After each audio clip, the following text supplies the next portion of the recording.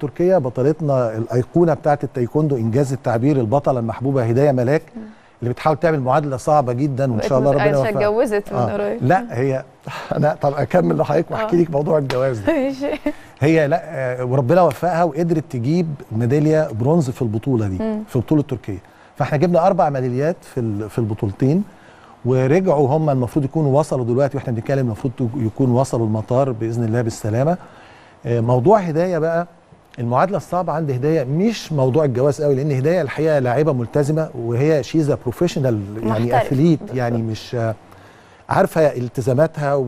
وعندها لياقة عالية وحضور و- وأعتقد أي لاعب محترف بيبقى عنده time management فهي. هتلاقي عندها الامكانيه جدا تظبط جدا وقتها. يعني لا هو التحدي اللي قصادها هو تحدي منطقي لأي رياضي أعلى حاجة في الرياضة اللاعب آه، بي في أي رياضة بيتمنى إنه يحققها هي ال Olympic Games أو الأولمبياد once انه حقق الاولمبياد أو وصل في ميدالية في الاولمبياد طبيعي جدا إن هو خلاص بيحصل له إشباع والحماس بتاعه غصب عنه لازم هيقل.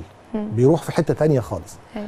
وحالات إن في اتنين حققوا في الاولمبياد مرتين في دورتين مختلفين حالات نادره جدا في العالم. منها طبعا بطلنا كرم جابر. طبعا. الأسطورة المصرية وأنا بوجه له التحية والصديق عزيز كمان. أكيد تحية. آه فهدايه بتحاول تعمل معادلة صعبة جدا إنها بعد ما وصلت لأعلى حاجة مم.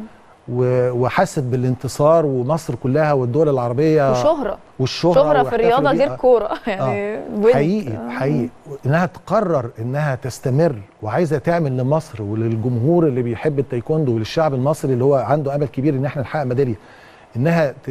ت... يعني تبذل المجهود والوقت وتضحي بحاجات كتيرة جدا في حياتها علشان تحقق مرة تانية بإذن الله. طبعا دي معادلة صعبة جدا. فبرضو أنا بوجه التحية ليها ولزمايلها. وإحنا كمان. الحقيقة هم كلهم بيضحوا يعني.